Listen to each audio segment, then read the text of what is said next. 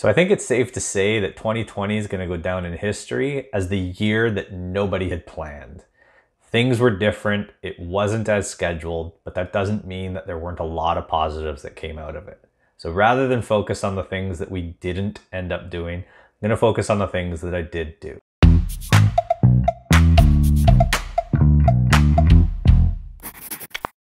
So one of the early highlights for me this year was speaking at my first ever career day.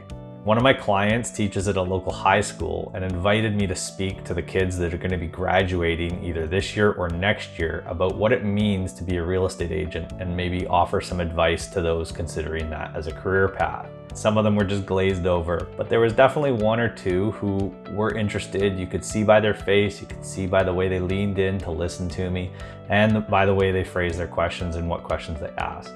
So for me, that was a really good moment and something I was excited to do in terms of giving back to the community that supports me. Selling real estate became a little bit more tricky because in-person showings became a little bit more difficult. Public open houses were not really feasible in the first couple months of lockdown or the pandemic, and so we had to adapt. I hosted my first ever virtual open house through a combination of Facebook Live as well as screen shares, along with 3D virtual tours that we'd already programmed or already taken for the properties we had listed. That was a really big change and a really big accommodation to the situation that we had at hand. And I was really proud of the work that I did there. I changed brokerages this year, which was, I wasn't really excited to do at the time. I felt kind of forced into it, to be honest, through the, the situation that COVID presented. However, when I look back at it over the course of the year, it proved to be a really good move. It provided me a bit with a reset uh, for both my business and just home life in general, the home, you know, home life work balance. And it's been a really good move. And I wouldn't have made it had COVID not happened. So it's one of those things that um, COVID was a blessing and a curse. And in this case, it proved to be uh, a bit of a blessing for me. I got to homeschool my kids for two months yes, that sounds like a weird statement as I'm talking about it, like that's a really good thing. There were definitely days where I was pulling out my hair and things were not going according to plan. However, I got two more months of my life with my kids, which I wouldn't have otherwise had. They're at school for roughly six hours every day, Monday to Friday. That's extra time that I got with the kids that I would not have otherwise had and it's all because I was sort of forced into it. So again, it's one of those silver linings that you think about it and it's not what you want, it's not what you planned, but it proved to be a really good thing. That coupled with the fact that all their activities were canceled, we weren't just blitzing around on weekends and rushing from place to place and activity to activity. It wasn't just time with the kids, but it was calmer time with the kids. We got really nice weather in the spring, and so they were outside for four, five, six hours every day. We were really fortunate to be on a cul-de-sac with great neighbors that had kids their age. They all cohorted together and we essentially had just an amazing spring summer because of the neighborhood that we lived in and the fact that nobody was going anywhere and kids basically had a summer very similar to how you know my wife and I grew up in the 80s where you're out all day till the lights come on on the street, you're playing on the dirt, you're climbing trees, you're playing tag, hide and go seek. It was really, really positive, um, and not really something that we can recreate all that easily. If it weren't for COVID, my YouTube channel certainly would not have started when it did. I was in need of some social interaction and I had thought about doing a YouTube channel, but I hadn't really figured out what it was gonna be or how I was gonna start because I had a fear, have a fear of being on camera. Through COVID, I realized just how much social interaction I get accidentally or unintentionally through my job. And of course, that wasn't happening because of how things were. And so I had to be intentional about reaching out to people. And that's where the idea for interviewing people came from. And I also thought that if I was going through that, other people were going to be going through that and that maybe they could benefit from some of the conversations that we had. I always benefit from listening to other people talk about the pros and cons in their life. And so I hope there's some takeaways from all those interviews that that uh, people did. For the first time ever this year, I cut my hair that was not just a buzz cut. I actually tried to cut it in the regular style that I have. Some would say it didn't look all that great. yeah, it was okay from the front. It was almost like a styled mullet. So it is what it is. Everyone had a COVID cut. Not everybody, but a lot of people had COVID cuts.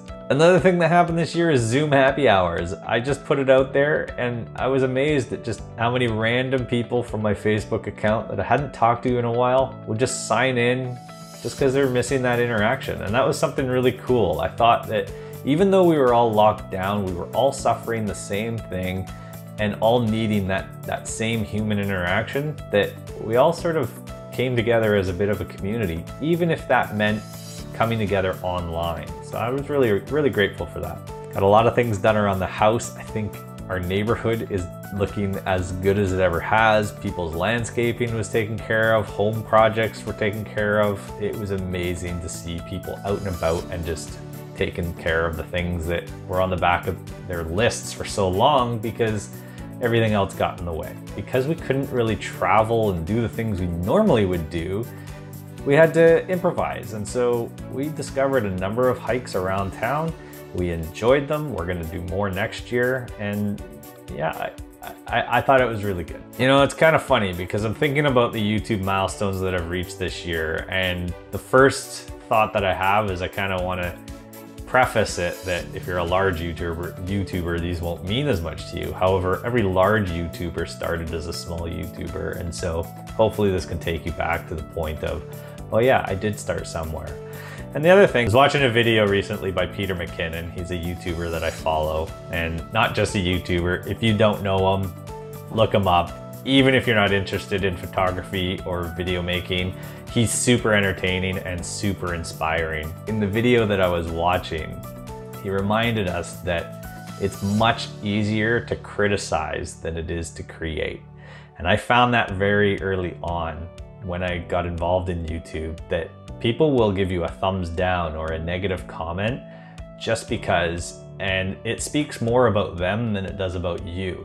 But that's tough to remember sometimes. When you turn that camera on and you put yourself out there and you want people to like you, you want people to get something beneficial from the videos, it's hard to remember sometimes that you are putting yourself out there and that it is easier to criticize than it is to create. So to all the keyboard ninjas out there, I just want to say that these YouTube milestones that I've had this year are really important to me and I'm super pumped about them in no particular order really, I've improved myself. I've gone from this view to this view to this view.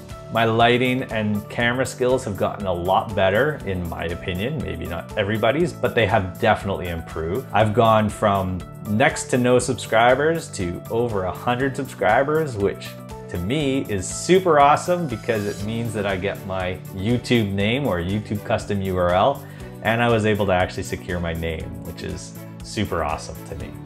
I had my first video go over a thousand views just recently, which that's just mind blowing to me. I know there's videos out there with millions of views and it happens overnight. Not really, but it does sometimes. But a thousand views to me was huge because when I posted on YouTube for the first time, I was averaging zero or one view per day. And now I'm averaging anywhere between 30 and 40 views per day, which is also really incredible that I've made it into the YouTube search algorithm, that people looking up certain things are being shown my videos. And that's something pretty cool. I don't know if they're helpful. I really do hope they are. And the other thing is, I'm not 100% confident on camera yet, but I'm getting more comfortable. And that to me is probably the biggest milestone that I've had this year that I'm just, I'm, I'm more comfortable in my own skin on camera. So thank you for watching and thank you for being a part of that journey. I really appreciate it. Oh, the other milestone that I hit on, on YouTube is I set a goal of posting once a week, every Thursday. And since I started posting, I haven't missed a single posting date including today's video. My wife was telling me the other day that when I set a goal that I have incredible willpower and I just do it. I don't always feel that way, but it was, I kind of was filled with pride with the fact that someone I care for and admire and love so much actually recognized that in me. even more than I do sometimes. And I think that was an important milestone that I, I didn't miss a single day. That said, 2020 was not the year we all planned, but there was a lot of good that came out of it. And I'm super excited for 2021, whatever it may bring. Anyways, that's it for me for the day. I hope you liked the video. I hope you like any one of my videos or even 10 seconds of one of my videos because it means that it was worth doing. If you have any questions or feedback, put them in the comment section below and I'll get back to you. If you haven't already, please hit subscribe so you don't miss out on future videos. Other than that, Thanks for watching, and I'll see you next year.